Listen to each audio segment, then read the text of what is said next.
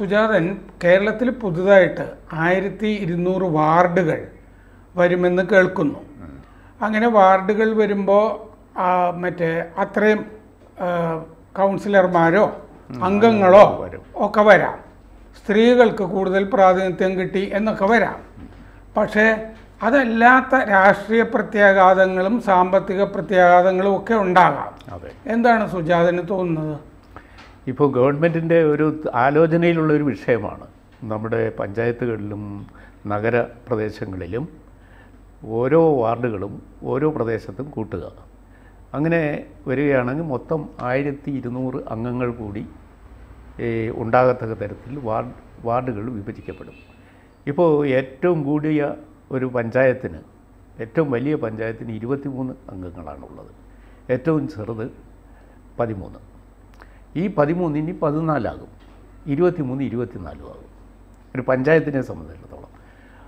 അങ്ങനെ വരുമ്പോൾ നമുക്ക് പഞ്ചായത്തുകളിലും ഈ നഗരപാലിക പഞ്ചായത്ത് രാജ് നിയമപ്രകാരം എല്ലായിടത്തും പ്രാതിനിധ്യം ത്തിന്റെ സെക്സ് റേഷ്യോ എന്ന് പറയുന്നത് തുല്യമാണ്. ഫിഫ്റ്റി ഫിഫ്റ്റിയാണ് അപ്പോൾ ഈ ആയിരത്തി ഇരുന്നൂറ് അംഗങ്ങൾ കൂടി പുതുതായിട്ട് വന്നാൽ പകുതി സ്ത്രീകളായിരിക്കും. അങ്ങനെ ഒരു അഡ്വാന്റേജ് അതിനകത്തുണ്ട്. ഇതിനായിട്ട് ഗവൺമെന്റ് കേരള ഗവൺമെന്റ് ഇപ്പോൾ സീനിയർ ഐ എ എസുകാരായ മൂന്ന് പേരെ അടങ്ങിയ ഒരു കമ്മിറ്റിയെ ഈ വാർഡ് വിഭജനം പൂർത്തിയാക്കുവാൻ തീരുമാനിച്ചിരിക്കുകയാണ്. അവരെ ചുമതലപ്പെടുത്തുകയാണ്. അവർ ഈ ഓരോ പഞ്ചായത്തിന്റെയും ജനസംഖ്യയും അവിടുത്തെ ഭൂമിശാസ്ത്രപരമായ പ്രത്യേകതകളും പരിഗണിച്ചിട്ട് പുതിയ ഓരോ വാർഡുകൾ അതിൽ നിലവിലുള്ളതിൽ നിന്ന് സൃഷ്ടിക്കണം. സൃഷ്ടിച്ചിട്ട് അതിനൊരു വാർഡ് നമ്പർ പേരും ഒക്കെ ഇടും. ഇതാണ് അതിന്റെ പ്രക്രിയ. ഇത് നഗരസഭകൾ മുതൽ പഞ്ചായത്തുകൾ വരെ വരും. അങ്ങനെ ത്രൂ ഔട്ട് കേരള വരുമ്പോഴാണ് ഈ ആയിരത്തി ഇരുന്നൂറ് പുതിയ അംഗങ്ങൾക്കുള്ള സാധ്യതയും വരുന്നത്.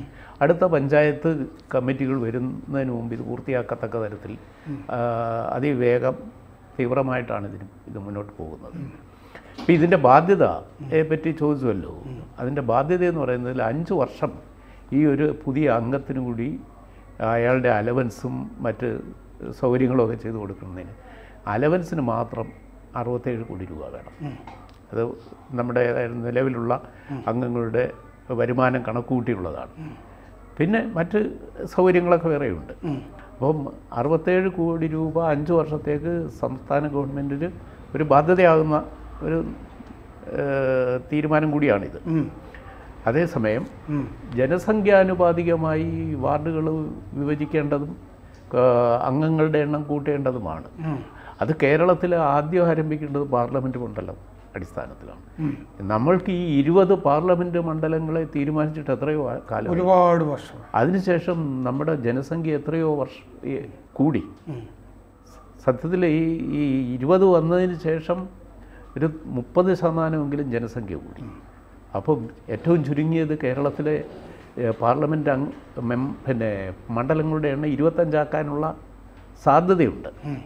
നമ്മൾ മറ്റു പല പ്രതി കർണാടകത്തിലെയും ആന്ധ്രാപ്രദേശിലെയും ഒക്കെ രാജസ്ഥാനിലേക്ക് രാജസ്ഥാനിലെയൊക്കെ സ്ഥിതി വെച്ച് നോക്കുമ്പോൾ നമുക്ക് ഒരു ഇരുപത്തിയഞ്ച് പാർലമെന്റ് മണ്ഡലങ്ങളും മണ്ഡലങ്ങളെങ്കിലും ആകാവുന്ന അത്രയും ജനങ്ങളുണ്ട്. അപ്പോൾ മുകളിൽ നിന്ന് ആരംഭിച്ചിട്ടായിരിക്കണ്ടേ ഇത് ചെയ്യേണ്ടത്? പക്ഷെ പഞ്ചായത്ത് ഇവിടെ തന്നെ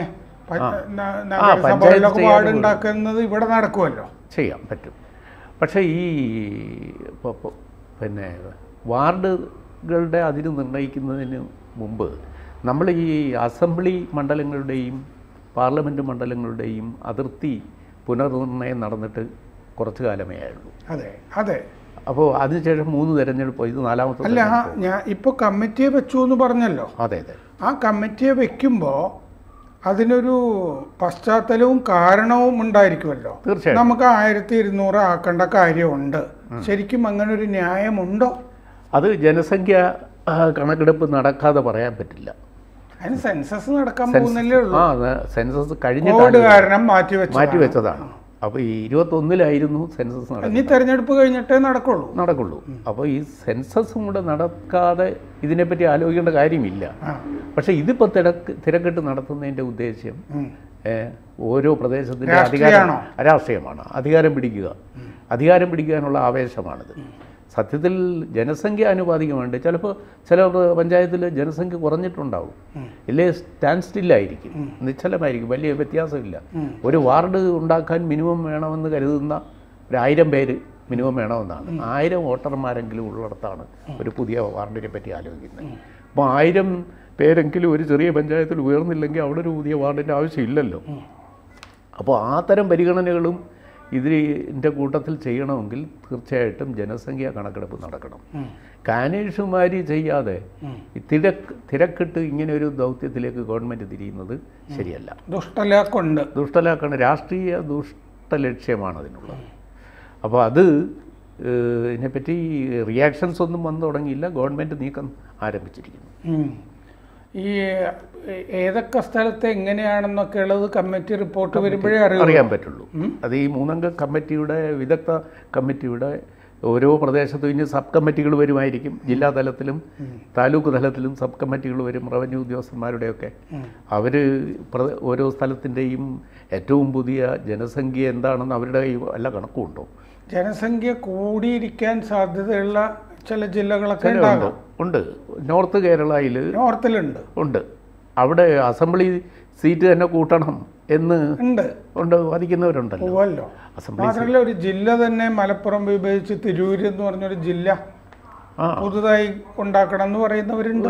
നേരത്തെ തന്നെ ആ വാദം വന്നു കേരളം തന്നെ ഈ നിലവിലുള്ള കേരളം ഈ തെലുങ്കാന രൂപീകരിച്ചപ്പോൾ ഭാഷാ സംസ്ഥാനം എന്ന സങ്കല്പം അത് ഞാൻ ചോദിക്കാൻ വരികയായിരുന്നു. അതായത് ഈ ദുഷ്ടലാക്ക് എന്നുള്ളത് പറഞ്ഞല്ലോ. അത്.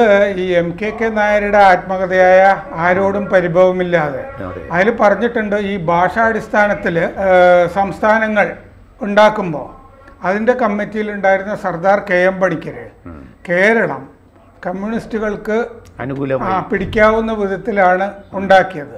ഏഹ് കന്യാകുമാരിയുടെ ചില ഭാഗങ്ങളൊക്കെ എടുക്കുക. കന്യാകുമാരി കളഞ്ഞു. കളഞ്ഞു. ദേവികുളവും ഉടുമ്പൻചോലയും എടുത്തു. അതെ. പിന്നെ വടക്കൻ കേരളത്തിൽ കാസർഗോഡ്. കാസർഗോഡ് ഇങ്ങോട്ട് എടുത്തു പീഠഭൂമി. അതുകൂടെ ചേർത്തപ്പോൾ അത് കമ്മ്യൂണിസ്റ്റ് പ്രദേശങ്ങൾ കൂടുതൽ ചേർന്നു ആറ് എം എൽ എമാർ തുടർച്ചയായിട്ട് ജയിച്ചു വന്ന കോൺഗ്രസ് പ്രദേശമായിരുന്നു കന്യാകുമാരി ജില്ല. അതങ്ങോട്ട് ഒഴിവാക്കിയപ്പോൾ കൃത്രിമമായി കമ്മ്യൂണിസ്റ്റുകാർക്ക് ആദ്യത്തെ ഗവൺമെന്റ് നാല് അഞ്ച് സ്വതന്ത്രന്മാരെയും ഒരംഗത്തിന്റെയും കൂടെ ഭൂരിപക്ഷം അതെ സർദാർ കെ എം പണിക്കർ മറ്റേ ചൈനയിലെ അംബാസഡർ ആയിരുന്നു. ആയിരുന്നു. ഏ? അപ്പൊ ചൈനയിലെ അംബാസഡർ ആയിരുന്നപ്പോൾ അദ്ദേഹം പ്രോ ചൈന ആയിരുന്നു. ചൈനീസ് പക്ഷപാതി അത് കാരണം സർദാർ പട്ടേലിന് തീരെ ഇഷ്ടമല്ലായിരുന്നു. അപ്പൊ സർദാർ പട്ടേലിനെതിരെ സർദാർ പണിക്കർ നെഹ്റുവിന് കത്തുകളൊക്കെ എഴുതുമായിരുന്നു. ഇതെന്ത് സെക്കുലറിസമാണ് ഇങ്ങനെ ചെയ്തുകൊണ്ടിരിക്കുന്നത്? സോമനാഥ ക്ഷേത്രം. പണിയുന്നതിന് അങ്ങേരെ അനുകൂലമല്ലേ? നമുക്കിപ്പോൾ ഒരു ക്ഷേത്രത്തിന്റെ ആവശ്യം എന്താണെന്നൊക്കെ ചോദിച്ചിട്ടുള്ള കത്തുകളൊക്കെ ഇപ്പോൾ അവൈലബിൾ ആണ് സർദാർ കെ എം പണിക്കരുടെ. ആ സമയത്ത് പണിക്കരുടെ മകൾ ജാമാത- ജാമാതാവ്. ജാമാതാവാണ് മൻ ഗോവിന്ദൻ നായർ അതുകൊണ്ടാണ് അപ്പോൾ ദേവകി മകൾ സർദാർ പണിക്കരുടെ മകൾ ദേവകിയാണ് എം എൻ ഗോവിന്ദൻ നായർ കല്യാണം കഴിച്ചത്. ദേവകി മറ്റേ ചൈന കാണാൻ പോയിട്ട് ഞാൻ കണ്ട ചൈന എന്ന് മറ്റേ പറഞ്ഞിട്ടൊരു പുസ്തകം എഴുതിയിരുന്നു ആ കാലത്ത്. ധാരാളം സഖാക്കളൊക്കെ വായിച്ച് ഒരുപാട് കോപ്പിയൊക്കെ അക്കാലത്ത് വിറ്റിരുന്നൊരു പുസ്തകമാണ്. അപ്പം അങ്ങനെ ഈ കേരളം ഉണ്ടാക്കിയ പോലെ എന്തോ ഒരു ലക്ഷ്യം ഈ ആയിരത്തി ഇരുന്നൂറ് വാർഡ് ഉണ്ടാക്കുമ്പോഴും എന്തോ പിടിക്കാം എന്നൊരു ലക്ഷ്യമുണ്ടെന്ന് തോന്നുന്നു. ആ അത് പിന്നെ നത്തിന് വെച്ചത് കൊക്കെടുത്തു എന്ന് പറഞ്ഞതുപോലെ ആയി. സർദാർ കെ ഒരു തന്റെ ജാമാതാവ് എം എൻ ഗോവിന്ദൻ നായർ മുഖ്യമന്ത്രിയായി വരാനുള്ള ഒരു അനുകൂല സാഹചര്യം കേരളത്തിന്റെ ജോഗ്രാഫിക്കൽ ഷേപ്പിൽ ഉണ്ടാക്കിയെങ്കിലും അവസാനം മുഖ്യമന്ത്രിയായത് ഇ എം എസ് ആണ്. അതെ. അത് ആരും പ്രതീക്ഷിക്കാതെ. അതെ. അത് അത് എം എനും പ്രതീക്ഷിച്ചിരുന്നില്ല. കാരണം അത് അതിന് മുമ്പ് ആലുവയിൽ ഒരു പ്ലീനം നടന്നു. അമ്പത്തി ആറിൽ അമ്പത്തി ഏഴിലെ തെരഞ്ഞെടുപ്പിന് മുമ്പ്. അപ്പം ഭക്ഷണം കഴിച്ചിട്ട് പ്ലീനത്തിന് ഉച്ചയ്ക്ക് ഭക്ഷണം കഴിച്ചിട്ട് ഈ കൈകൾ കഴുകുമ്പോൾ ഇത് വിളിയം ഭാർഗവൻ ഒരു ഇന്റർവ്യൂവിൽ പറഞ്ഞ പറഞ്ഞ കാര്യമാണ് ഞാൻ പറയുന്നത് എ കെ ജിയോട് എം എൻ പറഞ്ഞു. കേരളത്തിൽ മറ്റേ നിയമസഭാ തിരഞ്ഞെടുപ്പാണ്. അപ്പോൾ അദ്ദേഹം പാർലമെന്റ് അംഗമാണ്. അപ്പോൾ നിയമസഭാ തിരഞ്ഞെടുപ്പാണ് ഇവിടെ വന്ന് മത്സരിച്ചിട്ട് മുഖ്യമന്ത്രി. ആകണം. എന്ന് പറഞ്ഞു. അപ്പൊ ജയിക്കുന്ന ഒരു ഉറപ്പുമില്ലല്ലോ. മാത്രമല്ല എ കെ ജിക്ക് തോന്നി എ കെ ജി ഒതുക്കുകയാണ്. ഇവിടെ വന്ന് തോക്കുന്ന ഡൽഹിയിൽ നിൽക്കുന്ന പാർലമെന്റിൽ അത്യാവശ്യം നേതാവൊക്കെ ആയിട്ട് നിൽക്കുന്ന ഏ? ആളെ കൊണ്ടുവന്ന് അങ്ങനെയാണ് അത് മാറിപ്പോയത്. അതല്ലെങ്കിൽ പിന്നെ അടുത്ത ആൾ മുഖ്യമന്ത്രിയാകാനുള്ള യോഗ്യത ടി വി തോമസ് ആയിരുന്നു. കാരണം അദ്ദേഹം തിരുക്കൊച്ചിയിൽ പ്രതിപക്ഷ നേതാവായിരുന്നു. ഭരണപരിചയമുണ്ട്. ആലപ്പുഴയിൽ മുനിസിപ്പൽ ചെയർമാനുമായിരുന്നു. പിന്നെ കയർ മേഖലയിലെ ഒരു ട്രേഡ് യൂണിയൻ നേതാവ്. അതെ. വലിയ പ്രസംഗകൻ. അതെ. തിരുവിതാംകൂർ മുഴുവൻ പ്രശസ്തൻ. നിയമം അറിയാം. അന്ന് ലെജിസ്ലേച്ചർ പാർട്ടി രൂപീകരിക്കാനായിട്ട് ആദ്യത്തെ കമ്മ്യൂണിസ്റ്റ് എം എൽ എമാരെല്ലാം കൂടെ ഇവിടുത്തെ ലെനിൻ സെന്ററിലാണ് ചേർന്നത്. അപ്പോൾ ഈ ലെനിൻ സെന്ററിൽ എം ടി വി തോമസിനെയാണ് നേതാവായി തിരഞ്ഞെടുക്കുന്നതെന്ന് ഇന്റർപ്രട്ട് ചെയ്ത് അറിയാം. എല്ലാവർക്കും അറിയാം. ഈ ടി വി തോമസിനെ പാർട്ടി ലീഡറായി തിരഞ്ഞെടുക്കുമ്പോൾ സ്വീകരിച്ചു കൊണ്ടുപോകാനായിട്ട് കാട്ടായിക്കോണം ശ്രീധരൻ. തിരുവനന്തപുരത്തു നിന്ന് നൂറ്റിയൊന്ന് കാറിന്റെ അകമ്പടിയോടെ ഇവിടെ എത്തി. സ്വീകരിച്ചു കൊണ്ടുപോകാൻ പക്ഷേ തീരുമാനം അപ്രതീക്ഷിതമായി ഇ എം എസിന്റെ പേര് വന്നപ്പോൾ പുള്ളി ഈ കാറെല്ലാം തിരിച്ചു പറഞ്ഞു വിട്ടു. അതൊരു കഥയാണ്. പിന്നെ മാത്രമല്ല ഈ കാസർഗോഡ് പ്രദേശം ചേർത്തപ്പോഴാണ് ഇ എം എസ് നിയമസഭാംഗമാകാനുള്ള അവസരവും കിട്ടിയത് നീലേശ്വരം. നീലേശ്വരം. നീലേശ്വരത്ത് നിന്ന് ജയിച്ചു വരാനും പറ്റിയതുകൊണ്ട്. അതെ. അപ്പോൾ അതുകൊണ്ട് അന്നത്തെ ആ കേരള രൂപീകരണത്തിന്റെ ചിത്രം അതാണ്. അന്ന് എ കെ ജിക്ക് കിട്ടിയ ഭൂരിപക്ഷത്തിനേക്കാൾ കുറവായിരുന്നു ഇ എം എസിന്. അതെ തീർച്ചയായിട്ടും. അപ്പോൾ ഈ സ്ഥിതിക്ക് നമ്മളിപ്പം പഞ്ചായത്തുകളിലെ പുതിയ വാർഡ് രൂപീകരിക്കുന്നതിനെ കുറിച്ചാണ് ചർച്ച ചെയ്തു വന്നത്. അപ്പോൾ ഇത് ഗവൺമെന്റ് തീർച്ചയായിട്ടും ജനസംഖ്യ കണക്കെടുപ്പ് കഴിഞ്ഞ് നടത്തേണ്ട ഒരു കാര്യമാണ്.